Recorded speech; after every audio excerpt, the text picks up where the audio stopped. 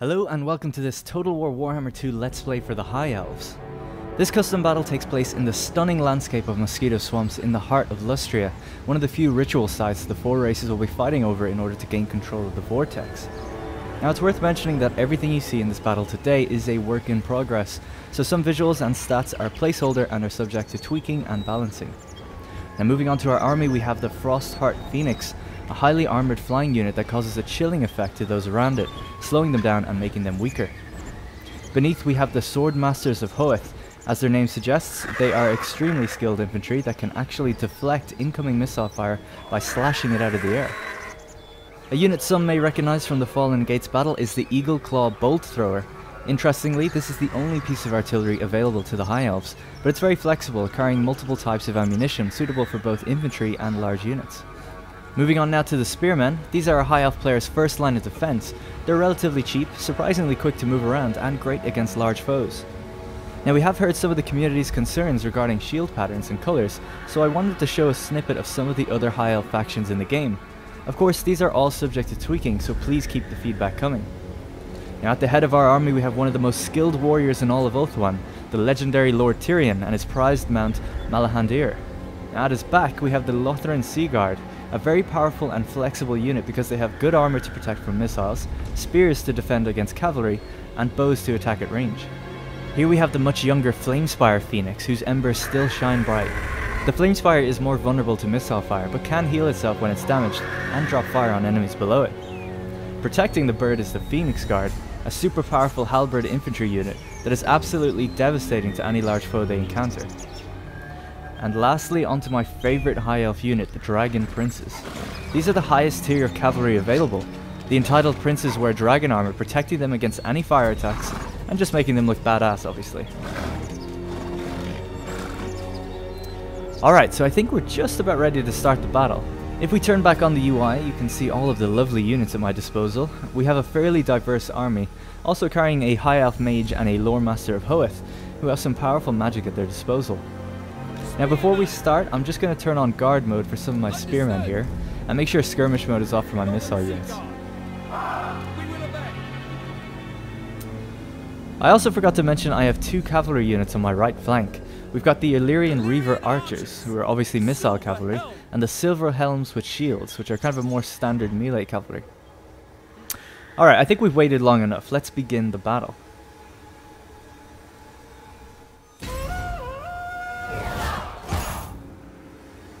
There are a few corrections I want to make. My artillery could do with having some protection from the front, so we'll shift our spearmen in front of them and fill the gap with the Phoenix Guard.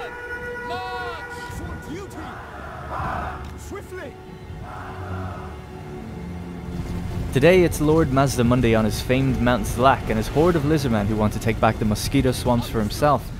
He has some proud looking Kroxigors at his front, flanked with the blessed Terradons using fire leech bolas. No doubt they'll make this a very tough fight. Now because he's moving pretty slow and has a thick bulk of infantry at his head, I'm going to switch to the multi-shot round for my artillery, as it has much greater anti-infantry capabilities versus the standard round, which is meant for large foes. He's got a little while to go yet before he's in range. Looks like he's pushing up some of his cavalry ahead of the main army though, perhaps scouting the woods out or looking to hide there himself. It's a unit of horned ones, an extremely rare and powerful cavalry unit.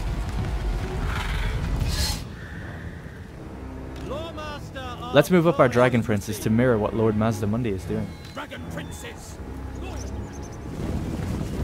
Look at how cool these guys are. They walk with such arrogance. I love it.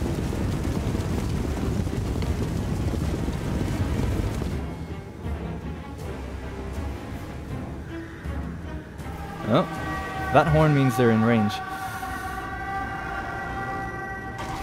Nice. Here we go. Now the anti-infantry shot isn't going to do much against the horned ones, but it might push them out of the forest. Our cavalry is pushing up to meet the threat, though the silver helms would have a tough time against the horned ones. I'm going to shift the spearman unit over to help, and then shift another sword unit in front of the artillery. Now it's worth mentioning also that I'll be cutting between the raw gameplay footage and the replay gameplay footage, so you can get both a zoomed out tactical look at the battle and a close-up cinematic look at the units. And I'll try to be quiet so you can soak in the atmosphere during these moments too.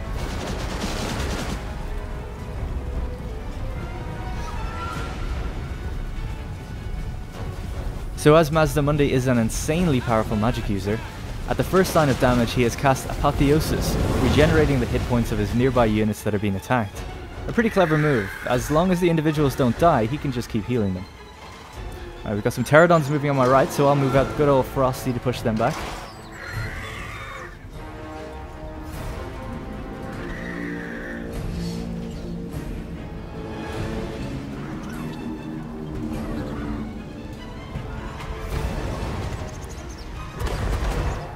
Dragon Princes are about to engage some Cold One Riders now. This should be an easy fight, but they are backed up with some extra Terradons.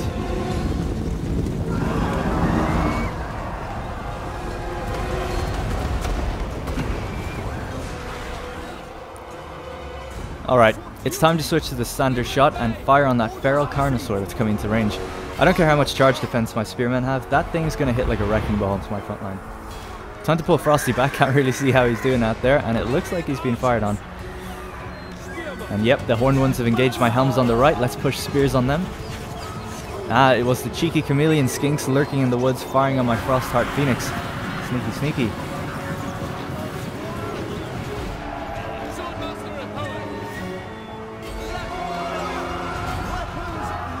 Now that big blue shield over to the left is buffing their leadership in there and protecting them from spells. I think it's the shield of the old ones.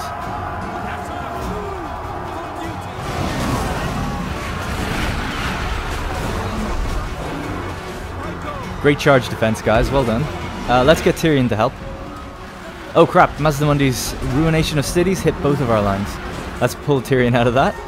It's an omnidirectional wind spell, so it's pretty hazardous. You never really know which way it's going to go. Well, you're not the only one who can play with wind spells. We've got some wind spells too. Looks like he's using banishments on me, so we're gonna have to move our phoenix.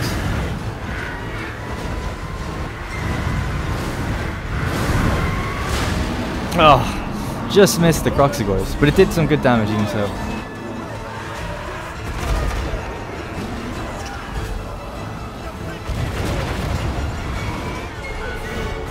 Right, let's turn up the heat. There's a big group here, so we're going to throw down the Tempest Vortex to disrupt them. Guard your ears. Oh yeah, now this is actually great at ensnaring flying units, but it does decent damage on the ground too. Looks like he's healing more units. Let's push the cavalry out to the chameleons. Looks like we've got a little bit of a gap we can exploit here. The Terradons are crushing my artillery. Let's get our missiles to take down that Carnosaur. It's causing me huge problems and get our artillery to focus on Mazdamundi.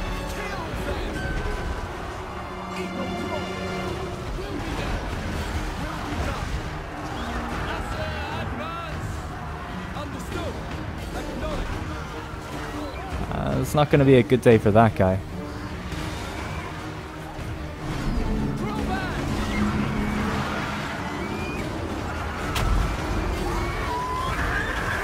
Alright, it's tag team Phoenix time. Father and son, fire and ice.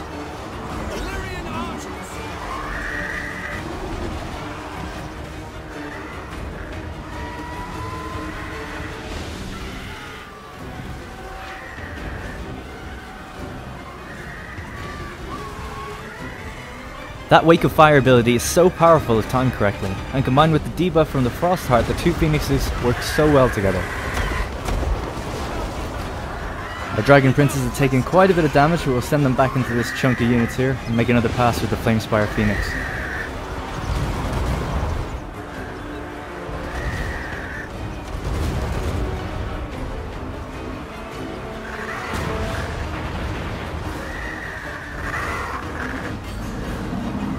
Right, we've finally gotten rid of the Carno. Let's focus on Mazdamundi now and buff our Winds of Magic. Now at this stage of a battle, things can get a little bit hectic. Now of course you can pause it to issue orders, but we don't do that here at Total War. We can use Hand of Glory, it's pretty much made for the Lothern Sea Guard as it buffs reload and melee attacks, so these guys will be ready for anything.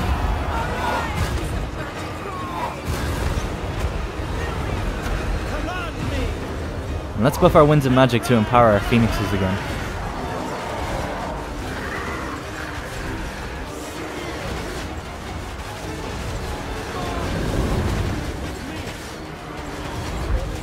Ugh, that's so annoying. Mazdamundi is called Banishment again, which means I'll have to move my archers, effectively disrupting my buff.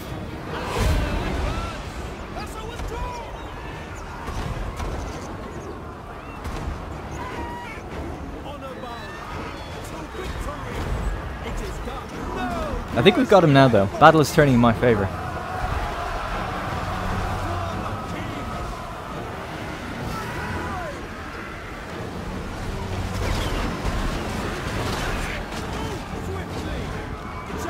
Yeah, just mopping up the remaining few now, dealing with the stragglers. Psh, look at him run away, the absolute coward.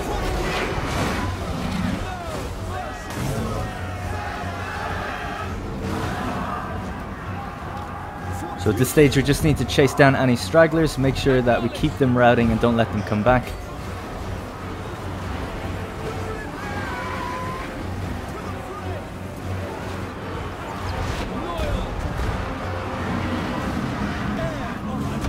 Alright, I think that's it.